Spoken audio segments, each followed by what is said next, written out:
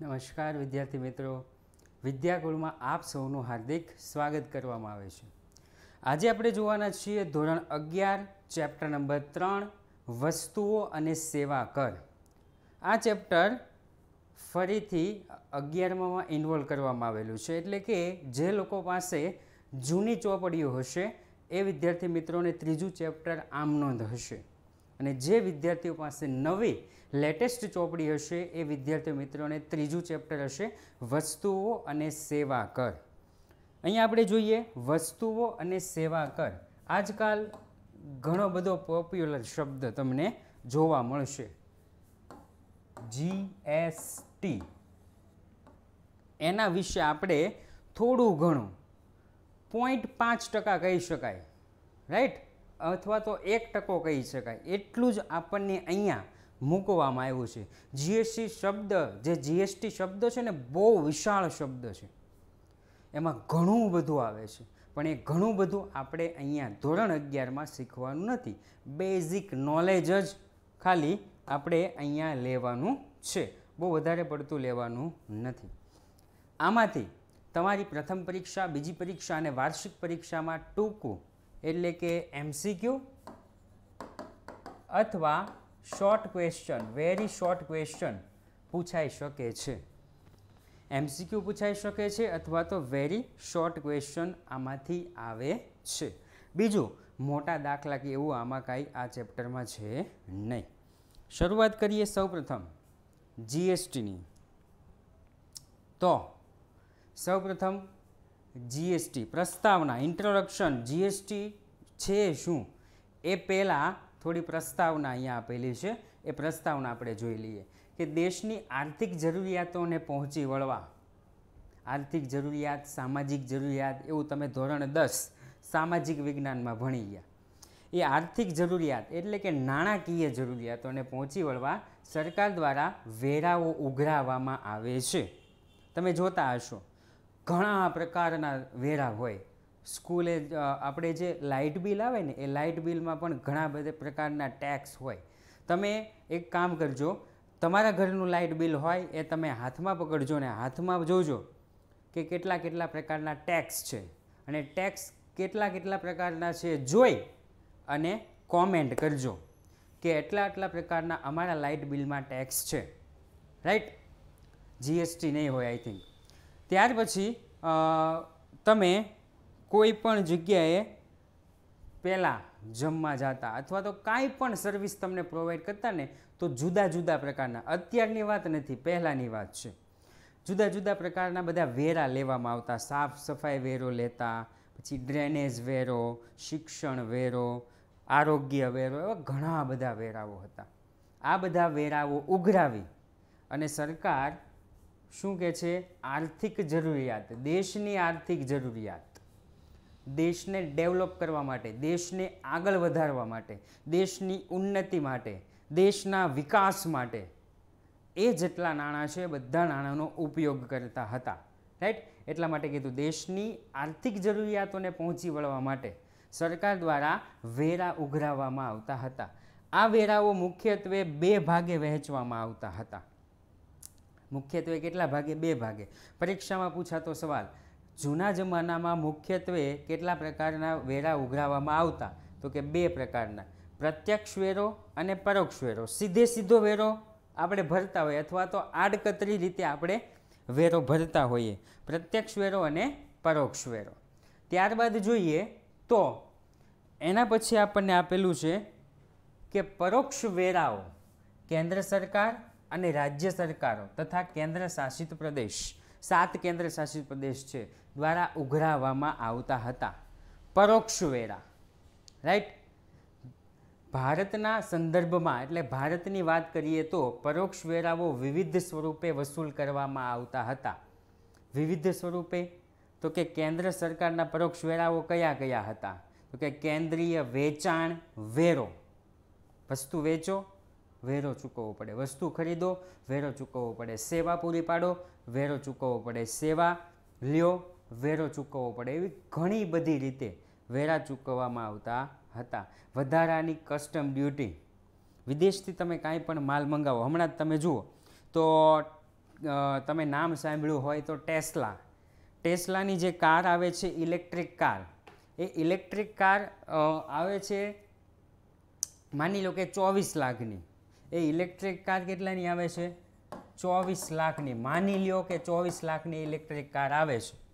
Right પરંતુ એવું કહેવામાં આવે છે કે એ ઇલેક્ટ્રિક કાર ભારતમાં અડતાલીસ લાખની વેચાય છે. કેટલાની? અડતાલીસ લાખ. એનો મતલબ એમ થયો કે સો ટકા ટેક્સ કેટલા ટકા ટેક્સ સો ટકા. આવું શું કામ સરકારે કર્યું છે? તો એનું એક આર્થિક રીઝન છે. એ રીઝન એવું છે જો કે ભણવામાં નથી પૂછાતું પણ તમને હું વાત કરી દઉં તો. એનું રીઝન એવું છે કે એ ટેસ્લા કંપનીનું ઉત્પાદન ચાઇનામાં થાય છે. જ્યારે આપણે સ્વનિર્ભર ભારત સ્વનિર્ભર ભારત એવું કરીએ છીએ. ત્યાં ઉત્પાદન થાય છે ઇલેક્ટ્રિક કારનું, ચોવીસ લાખમાં બને છે અને અહીંયા ઉત્પાદન થાય તો પણ ચોવીસ લાખમાં જ વેચાય. પણ સરકાર એવું કહે છે કે તમે ભારતમાં જો ઉત્પાદન કરો ને, તો અમે આ ટેક્સ નાબૂદ કરી દઈએ. અથવા એકદમ લો ટેક્સ કરી દઈએ. જો ભારતમાં ઉત્પાદન કરો તો.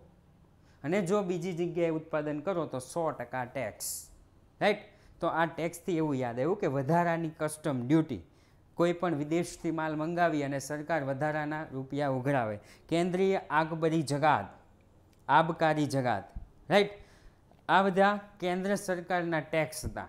કોના? કેન્દ્ર સરકારના ટેક્સ ત્યાર પછી જોઈએ તો કે રાજ્ય અને કેન્દ્ર શાસિત પ્રદેશના પરોક્ષ વેરા. પેલું કેન્દ્રનું હતું, હવે રાજ્યનું. મૂલ્ય વૃદ્ધિ વેરો. વેરો આવ્યો ને? વેરો એટલે એક પ્રકારનું ટેક્સ સમજી લેવાનું. ત્યાર પછી બીજો ખરીદ વેરો. એના પછી વેચાણ વેરો. પહેલાંમાં હતું વેચાણ વેરો, એના પછી મનોરંજન વેરો. તમે કાંઈ પણ મૂવી જોવા જાઓ છો, તમે કાંઈ પણ મૂવી જોવા જાઓ છો, એમાં તમારે ટેક્સ ચૂકવવો પડે. ત્યાર પછી, કોઈ પણ જગ્યાએ તમે મેળામાં જાઓ છો અને એમાં જો ટિકિટ હોય, તો એનો પણ ટેક્સ મનોરંજનના કોઈ પણ સાધનો તમે ખરીદો અથવા મનોરંજન મેળવવા તમે કોઈ પણ જગ્યાએ જાઓ, તમારે ટેક્સ ચૂકવવો પડે. પહેલાંના જમાની વાત છે.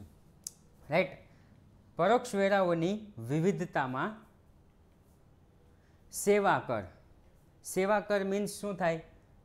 તો કે તમે કોઈ પણ સેવાકીય પ્રવૃત્તિ કરો છો અથવા તો લાભ લ્યો છો, જેવી રીતે ભણતર, શિક્ષણ, બે કશું પછી આવે વકીલ, ડૉક્ટર, ઇન્સ્યોરન્સ, આ બધી સેવાકીય પ્રવૃત્તિ છે. અને આ જે સેવાકીય પ્રવૃત્તિ છે, એનો તમે લાભ મેળવો તોની વાત છે રાઈટ પરોક્ષ વેરાઓની વિવિધતા અને તેમના કાયદેસરતાની જોગવાઈને વિવિધ કારણ વિવિધતાઓના કારણે તેમના સંચાલનમાં સરકાર વેરા અધિકારી અને કર ચૂકવનાર માટે ઘણી બધી સમસ્યાઓ ઉદ્ભવતી. માની લો કે તમે કોઈ પણ જગ્યાએ વેચાણ કર્યું છે અથવા તો ખરીદી કરી છે, તો કોને કયો ટેક્સ ચૂકવવો? ઘણી વખત તો ડબલ ટેક્સય ચૂકવાઈ જતા હતા. કેન્દ્ર સરકારે નહીં ચૂકવવાનો, રાજ્ય સરકારે નહીં ચૂકવવાનો. હવે માની લો કે ખરીદ વેચાણ વેરો છે, તો રાજ્ય સરકાર, કેન્દ્ર શાસિત પ્રદેશ અને કેન્દ્ર સરકાર ત્રણે એમાં આવતું હતું. કોને ટેક્સ ચૂકવવા? કન્ફ્યુઝન બહુ વધારે થતું હતું. જોયું? સરકાર વેરાધિકારી અને કર ચૂકવનાર માટે ઘણી બધી સમસ્યા હતી. આ સમસ્યાનું નિવારણ માટે કેન્દ્ર સરકાર, રાજ્ય સરકારો કે કેન્દ્ર શાસિત પ્રદેશના વિવિધ પરોક્ષ કરવેરાના સ્થાને. એક દેશ એક કરનું સૂત્ર છે કે one nation one tax one nation one tax. જેવી રીતે પેલું ચૂંટણીમાં કદાચ કરવા માગે છે કે આખા ભારત દેશની ચૂંટણી એક જ દિવસે એક સાથે જ લેવાઈ જાય. પરિણામ પણ એક સાથે જ. રાઈટ એવું વિચારે છે. જો કે બહુ એટલે બહુ મુશ્કેલ છે. નામુમકિન નથી. મુશ્કેલ ઘણું છે. રાઈટ તો એવી જ રીતે વન નેશન વન ટેક્સ આ પણ બહુ મુશ્કેલ હતું. જીએસટી લાવવું પણ મુશ્કેલ હતું કારણ કે જીએસટી ખ્યાલ બહુ એટલે બહુ વિશાળ છે. તમારે એક સબ્જેક્ટ આવે છે. સબ્જેક્ટનું નામ છે અર્થશાસ્ત્ર. આ અર્થશાસ્ત્ર, આ શબ્દ બહુ એટલે બહુ વિશાળ છે. તમે ગમે એટલું ભણો ને, છતાં પણ આમાંથી તમે બહાર નીકળી શકો નહીં. એટલો વિશાળ છે. એવી રીતના જીએસટી પણ ખૂબ વિશાળ શબ્દ છે. રાઈટ એક દેશ એક કરના સૂત્ર સાથે વસ્તુઓ અને સેવાઓ કર એટલે કે વસેક વસેક જીએસટી સરકાર દ્વારા પહેલી જુલાઈ પરીક્ષામાં પૂછાતો સવાલ જીએસટીનો અમલ ક્યારે થયો? જીએસટીનો અમલ ક્યારે થયો? પહેલી જુલાઈ બે હજાર સત્તરથી દાખલ કરવામાં આવ્યો. રાઈટ પરીક્ષામાં પૂછાતો સવાલ પહેલી જુલાઈ બે હજાર સત્તરથી દાખલ કરવામાં આવ્યો. ત્યાર પછી આગળ આપણે જોઈએ તો એનો અર્થ આપ્યો છે. અર્થ પરીક્ષામાં પૂછાઈ શકે એક માર્કમાં. અર્થ પરીક્ષામાં કેટલા માર્કમાં? એક માર્કમાં પૂછાઈ શકે કે કેન્દ્ર સરકાર અને રાજ્ય સરકારની વિવિધ પરોક્ષ કરવેરાને રદ કરી. પરોક્ષ, પ્રત્યક્ષ બધા જ કરવેરા રદ કરી. વસ્તુઓ અને સેવાઓને એક જ કર હેઠળ આવરી લેવા, આવરી લેવામાં આવ્યા છે. તેને વસ્તુઓ અને સેવા કર એટલે કે વ સે ક. અહીંયા વ સે ક. થઈ ગયું ને? વસેક એટલે કે જીએસટી તરીકે ઓળખવામાં આવે છે. રાઈટ જીએસટી અહીંયા આપણે દિયા જી એસ ટી થઈ ગયું? વસ્તુઓ કે સેવાઓની પૂર્તિ પર લાદવામાં આવતો પૂર્તિ એટલે શું? તો કે સમાચારમાં સાથે જે નાનું સમાચાર પત્ર આવે એક્સ્ટ્રા એક્ટિવિટીવાળું એને કહેવાય પૂર્તિ. તો ભાઈ એને ન કહેવાય પૂર્તિ. પૂર્તિ એટલે શું? પૂર્તિ એટલે ખરીદ અને વેચાણ. પૂર્તિ એટલે શું થાય? ખરીદ અને વેચાણ. તો કે વસ્તુ અને સેવાઓના ખરીદ વેચાણ પર લાદવામાં આવતો કર એટલે વસ્તુઓ અને સેવા કર, જેને ટૂંકમાં જીએસટી તરીકે ઓળખવામાં આવે છે. રાઈટ વસ્તુ અને સેવાઓની પૂર્તિ પર લાદવામાં આવતો કર એટલે જીએસટી આગળ જોઈએ તો એના લક્ષણો. આ જીએસટી છે, એનું લક્ષણ શું? તો કે જીએસટીનું પહેલું જ લક્ષણ છે વન નેશન, વન ટેક્સ. એવું હતું ને? એટલે એક જ કર. વસ્તુ અને સેવાઓના એક જ કર હેઠળ આવરી લેવામાં આવ્યા છે. માની લ્યો કે કોઈ તમે સ્વિફ્ટ કાર ખરીદો છો. તમે કોઈ સ્વિફ્ટ કાર ગુજરાતમાંથી ખરીદો છો. રાઈટ આ ગુજરાતમાંથી તમે કોઈ સ્વિફ્ટ કાર ખરીદો છો તો ગુજરાતમાં એના પર જીએસટી અઢાર ટકા હોય. તમારે બહાર જવાનું થયું કેરળ.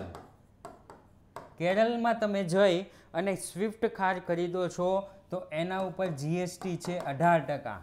એક જ સરખી જીએસટી એટલે એક જ સરખી રકમ. માની લો કે તમારે પછી ફરવા જવાનું થયું કાશ્મીર. તમારે ફરવા ક્યાં જવાનું થયું? કાશ્મીર. રાઈટ? અને તમે કાશ્મીર ફરવા ગયા ત્યાં તમારે એમ થયું કે અહીંયા મારે સ્વિફ્ટ લેવી છે. તો કાશ્મીર પર જીએસટી કેટલો છે તો કે અઢાર ટકા એક જ કર તમે કોઈ પણ વસ્તુ ખરીદો આ એવડું મોટું શું છે ડિજિટલ બોર્ડ આ ડિજિટલ બોર્ડ તમારે ખરીદવા જવું છે पश्चिम बंगाल तो वहाँ भी इसके ऊपर मान लीजिएगा छः परसेंट इंटरेस्ट રાઈટ છ ટકા જીએસટી હોય તો તમે દિલ્હીથી લ્યો, અમદાવાદથી લ્યો, મુંબઈથી લ્યો, બેંગ્લોરથી લ્યો, કોચીથી લ્યો, તમે ગમે ત્યાંથી લ્યો. કેટલા ટકા? છે પર્સન્ટેજ જીએસટી લગતા ઠીક હે? વન નેશન વન ટેક્સ ત્યાર પછી જો, એક દેશ, એક કર. પૂર્તિની વસૂલા પૂરતી કરની વસૂલાત. પૂર્તિ પર કરની વસૂલાત એટલે કે ખરીદ અને વેચાણ. ખરીદ વેચાણ પર કરની વસૂલાત. તો કે વસ્તુઓના ઉત્પાદન અથવા વસ્તુઓના વેચાણ. આવી ગયું ને? વસ્તુનું ઉત્પાદન અથવા વસ્તુના વેચાણ અથવા સેવા પૂરી પાડવાના સ્થાને વસ્તુઓ અને સેવાની પૂર્તિ પર કર વસૂલ કરવામાં આવે છે. તમે કાંઈ પણ ખરીદો, કાંઈ પણ વેચો, કોઈ પણ સેવા લ્યો, કોઈ પણ સેવા આપો ટેક્સ તમારે ચૂકવવો પડશે. એટલે કે વસેક હેઠળ વસ્તુ અને સેવાની પૂરતી, ખરીદ વેચાણ જેવી બાબત કરપાત્ર બને છે. રાઈટ તમે કાંઈ પણ કરો ટેક્સ તો તમારે ચૂકવવો જ પડશે. એના પછી આપણે આગળ જોઈએ તો કે વસેક કાઉન્સિલ વસેક કાઉન્સિલ રાઈટ વસેક કાઉન્સિલમાં આપણને શું કીધું છે? તો કે વસેકની તમામ કામગીરી પરીક્ષામાં પૂછાતો એક માર્કનો સવાલ એમસીક્યુમાં પણ પૂછાઈ શકે અને એસક્યુમાં પણ પૂછાઈ શકે. એમસીક્યુ અથવા એસક્યુ ગમે ત્યાં પૂછાઈ શકે છે કે વસેકની તમામ કામગીરીની વસેક કાઉન્સિલ હેઠળ થાય છે. રાઈટ તમે કોઈ પણ કોમ્પિટિટિવ એક્ઝામ દેવા જાઓ ને ત્યાં પણ જીએસટી આવશે. જીએસટી કાઉન્સિલમાં દરેક રાજ્યના રાજ્ય પ્રતિનિધિત્વ ધરાવે છે. દરેક રાજ્યમાંથી એક એક એક એક એક એક પ્રતિનિધિ આ વસેક કાઉન્સિલમાં હોય છે. અને તેના અધ્યક્ષ તરીકે કેન્દ્રના નાણાં મંત્રી હોય છે. એમસીક્યુમાં પૂછાતો મોસ્ટ આઈએમપી સવાલ. એમસીક્યુ એમસીક્યુમાં પૂછાતો મોસ્ટ આઈએમપી સવાલ કે વસેક કાઉન્સિલના અધ્યક્ષ તરીકે કોણ કામગીરી બજાવે છે? તો કે વસેક કાઉન્સિલના અધ્યક્ષ તરીકે કેન્દ્રના નાણાં મંત્રી કામગીરી ધરાવે છે. ત્યાર પછી વસેકના દર. વસેકના જુદા જુદા દર છે. રાઈટ? એ વસેકના જે દર છે, વસેકના દરની વસેક કાઉન્સિલ દ્વારા ભલામણ કરવામાં આવે છે કે એટલા ટકા ટેક્સ રાખો, આની ઉપર એટલા ટકા ટેક્સ રાખો. જીવન જરૂરિયાત વસ્તુ ઉપર ઓછો ટેક્સ રાખો. મીડિયમ વસ્તુ ઉપર મીડિયમ ટેક્સ રાખો. અને મોજ શોખની વસ્તુ ઉપર વધારે ટેક્સ રાખો. રાઈટ એવી રીતના જીએસટી કાઉન્સિલ દ્વારા શું કરવામાં આવે? ભલામણ. ત્યાર પછી છે આયાત અને વસેક. આયાત એટલે બહારથી માલ મંગાવો, વિદેશથી માલ મંગાવો. એ આયાત અને વસેક. તો વસ્તુઓ અને સેવાઓની આયાતને આંતરરાજ્ય પૂર્તિ તરીકે ધ્યાનમાં લેવામાં આવે છે. આંતરરાજ્ય પૂર્તિ કે રાજ્યની અંદર ને અંદર હોય. એ રીતે ધ્યાનમાં લેવાય છે. એના પછીનું વસેક પરત જમા. વસેક પરત જમા. હવે પ્રશ્ન એવો થાય કે સર, ખરીદતી વખતે આપણે વસેક ચૂકવવાનો જીએસટી ચૂકવવાનો, વેચનારને પણ જીએસટી ચૂકવવાનો, તો બે વખત જીએસટી ચૂકવવાનો. પછી એને કાચો માલ જ્યાંથી ખરીદ્યો હોય, એને પણ જીએસટી ચૂકવેલો હોય. કેટલી વખત જીએસટી થાય? તો એ જ માટે અહીંયા આપ્યું છે એનો લક્ષણ વસેક પરત જમા. તો ખરીદતી વખતે ચૂકવેલ વસેક, વેચાણ કરતી વખતે ચૂકવવા પાત્ર વસેકમાંથી બાદ મળે છે. તેને કહેવાય વસેક પરત જમા. ખરીદતી વખતે ચૂકવેલ વસક, વસેક. તમે કોઈ પણ મા કાચો માલ ખરીદ્યો અને તમે જે ટેક્સ ચૂકવો છો, એ કોઈ, એ વસ્તુ તમે બનાવી અને વેચો છો અને ટેક્સ ચૂકવો છો, એમાંથી પહેલો વસેક શું થઈ જાય? બાદ થઈ જાય છે. એટલે એક બાદ થઈ જાય, એટલે એક વસેક જો રાઈટ એટલા માટે.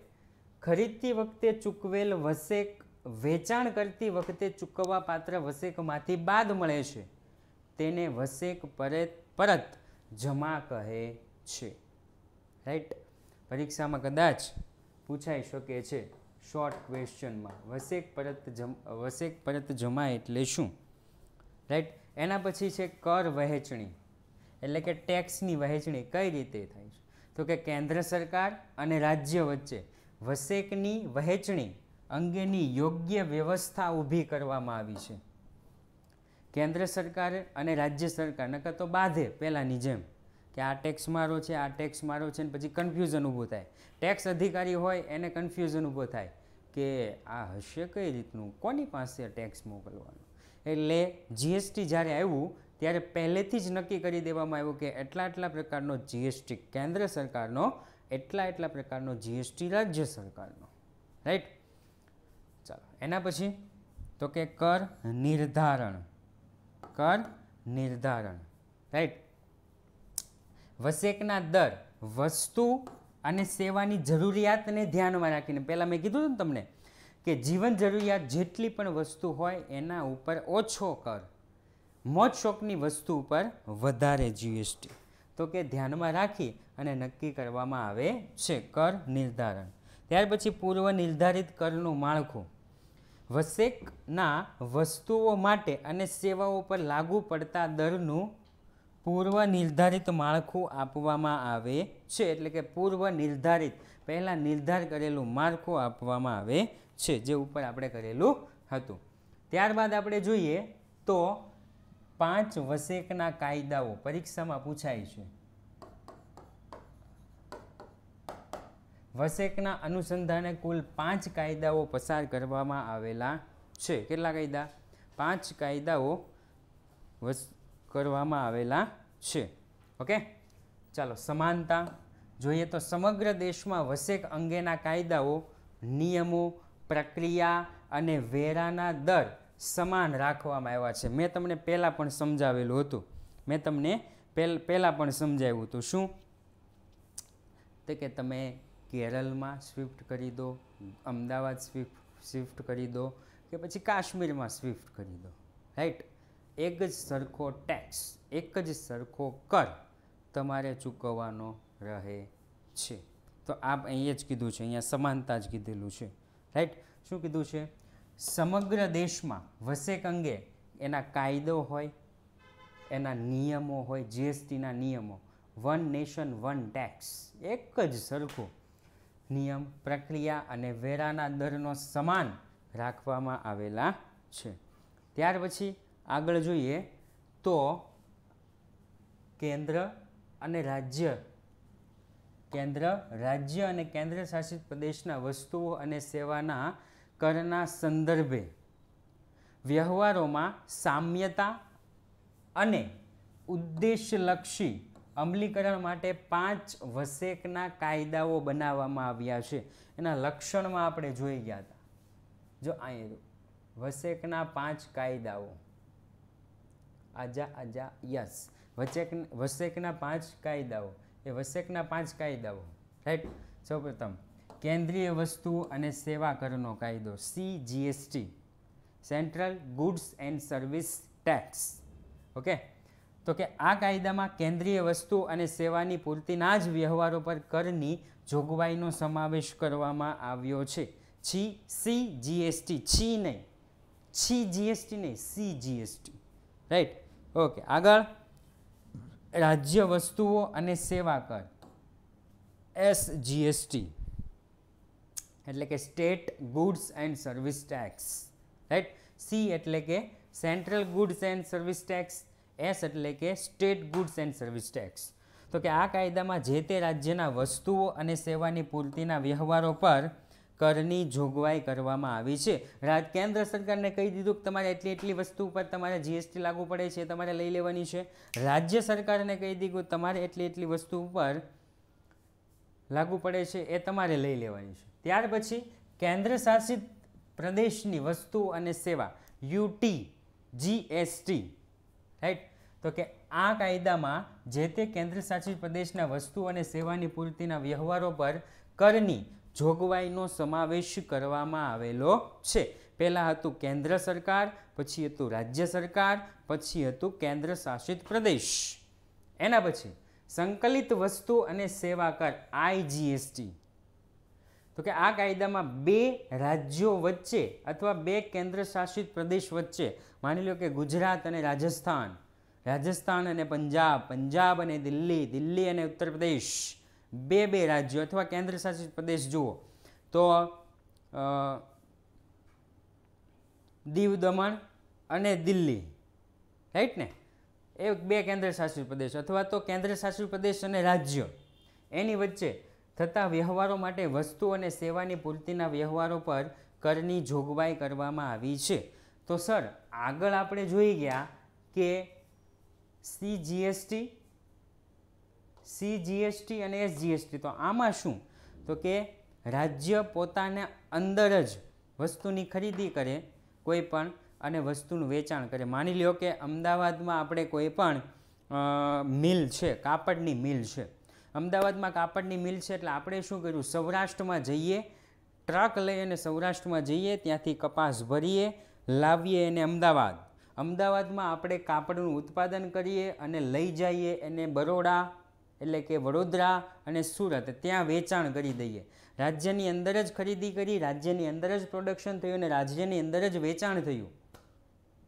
સી જીએસટી રાઈટ એવી જ રીતે સી જીએસટી લાગુ પડતો હોય તો અહીંયા એસ જીએસટી લાગુ પડતો હોય તો અહીંયા, અને આઈ જીએસટી લાગુ પડતું હોય તો ત્યાં, અંદરની અંદર. રાજ્યની અંદરની અંદર ખરીદી, અંદરની અંદર વેચાણ. જ્યારે આઈ જીએસટીમાં શું છે? એક રાજ્ય બીજા રાજ્ય સાથે વહીવટ કરતા હોય. કારણ કે એકબીજાની જરૂર તો પડવાની જ, આપણને આપણા પાડોશીની જરૂર પડે છે. તો આપણને આપણા રાજ પાડોશીઓની, એટલે કે પાડોશી રાજ્યોની જરૂર તો પડે જ.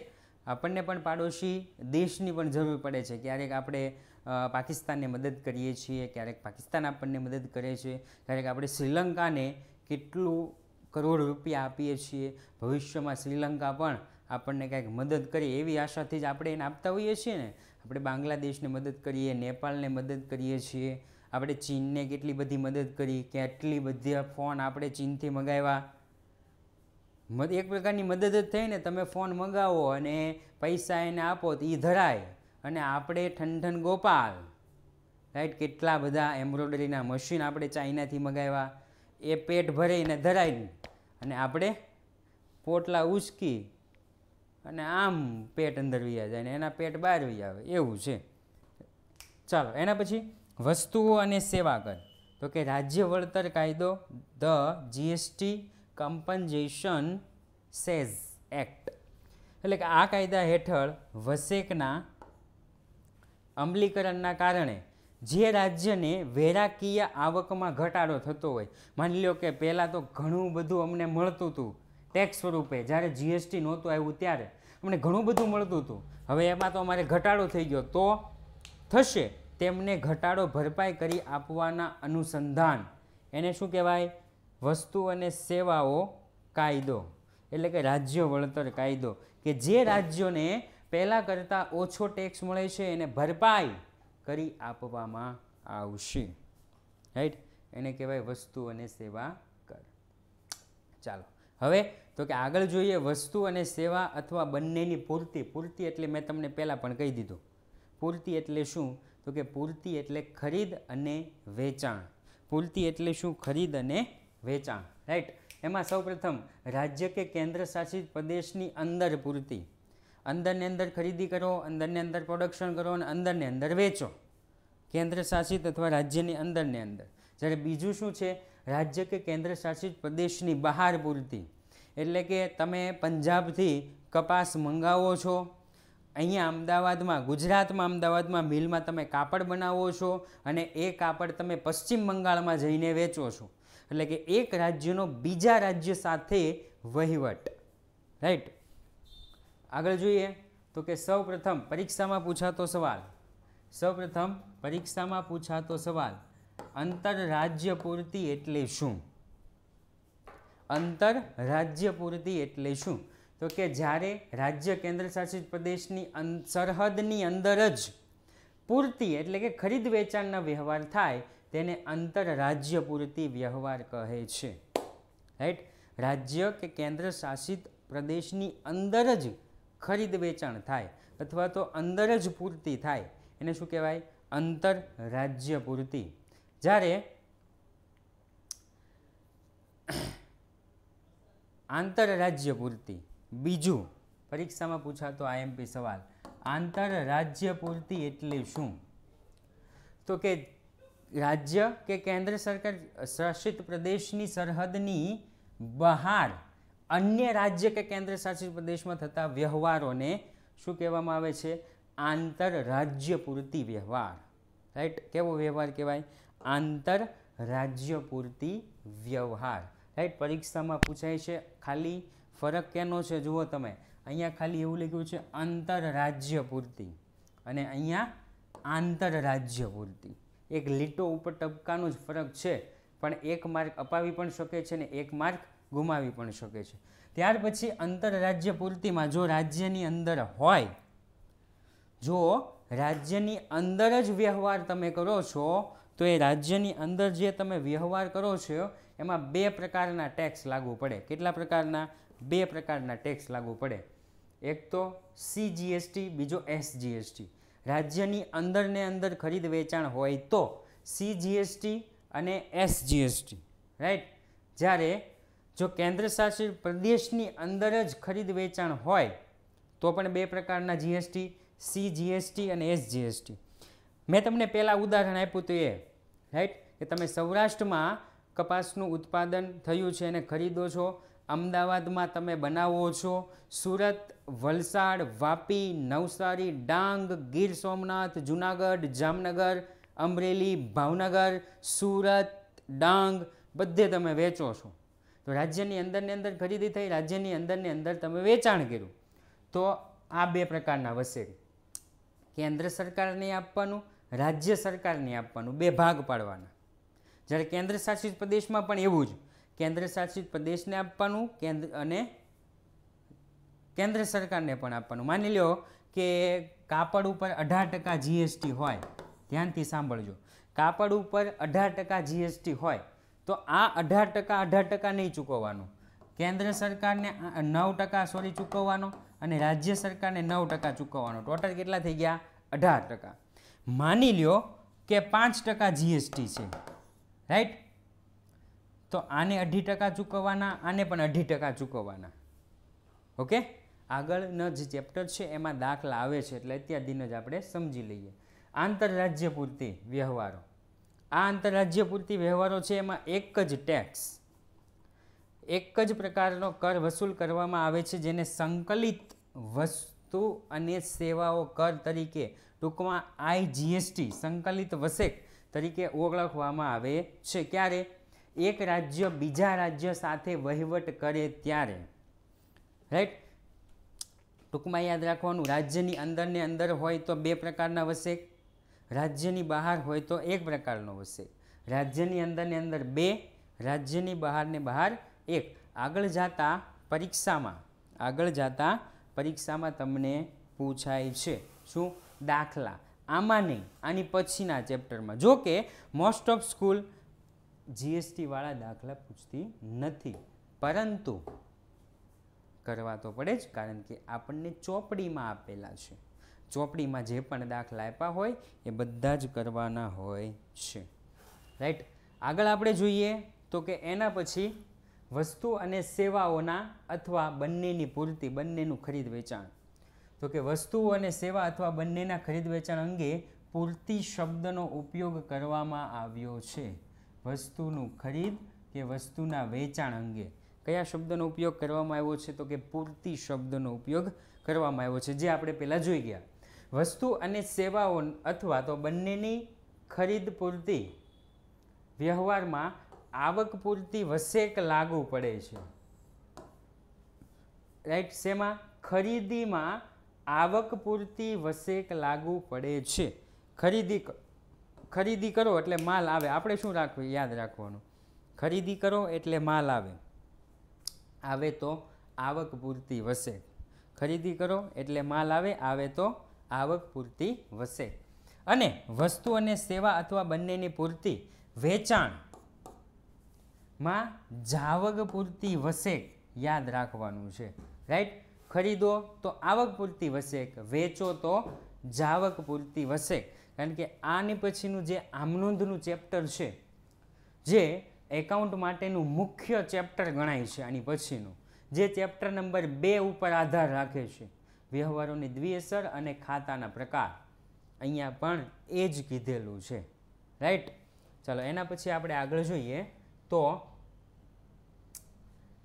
મૂળભૂત જરૂરિયાતોથી મોજશોખની મૂળભૂત જરૂરિયાતથી મોજશોખની જરૂરિયાત સુધીનું વસ્તુ અને સેવાના કર અંગે વસેકના જુદા જુદા દર નક્કી કરવામાં આવ્યા છે.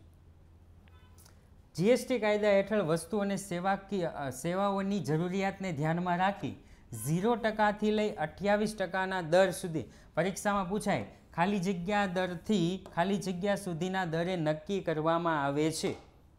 રાઈટ? એક માર્કમાં પરીક્ષામાં પૂછાતો સવાલ એક માર્કમાં પરીક્ષામાં પૂછાતો સવાલ કે જીએસટી કાયદા હેઠળ વસ્તુ અને સેવાની જરૂરિયાત ધ્યાનમાં રાખી ખાલી જગ્યા ટકાના દરથી ખાલી જગ્યા સુધીના દરે નક્કી કરવામાં આવે છે. તો કે ઝીરોથી લઈ અને અઠ્યાવીસ ટકા દર સુધી, ઝીરોથી લઈ અઠ્યાવીસ ટકા દર સુધી. ત્યાર પછી પરીક્ષામાં પૂછાય એક માર્કમાં, વસેકના વર્તમાન દર જણાવો. વસેકના વર્તમાન દર જણાવો. તો કે ઝીરો ટકા, પાંચ ટકા બાર ટકા, અઢાર ટકા અને અઠ્યાવીસ ટકા. રાઈટ આ કેટલા થઈ ગયા? ઝીરો ટકા, પાંચ ટકા, બાર ટકા, અઢાર ટકા અને અઠ્યાવીસ ટકા. આ થઈ ગયા દર. રાઈટ મોજ શોખની વસ્તુ ઉપર મોસ્ટ ઓફ પાંચ ટકા. ત્યાર પછી એનાથી વધારે ઓછી જરૂરિયાત લોકોને પડતી હોય એના ઉપર બાર ટકા. એનાથી ઓછી જરૂરિયાત પડતી હોય એના ઉપર અઢાર ટકા. અને ખૂબ મોજ શોખની વસ્તુ હોય.